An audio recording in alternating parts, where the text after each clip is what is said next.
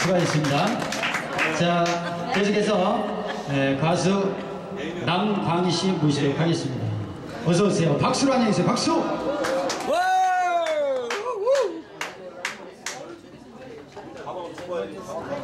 자, 네. 3번 맞죠? 3번. 이 노래 맞죠?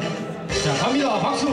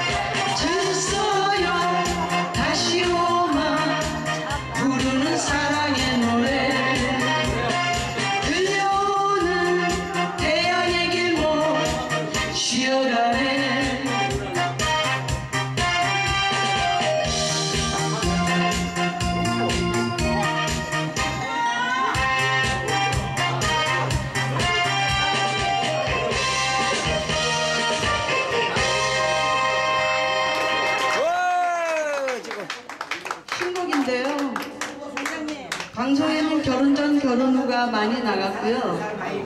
이 태양의 길목은 소록도 공연 갔다가 만든 노래예요.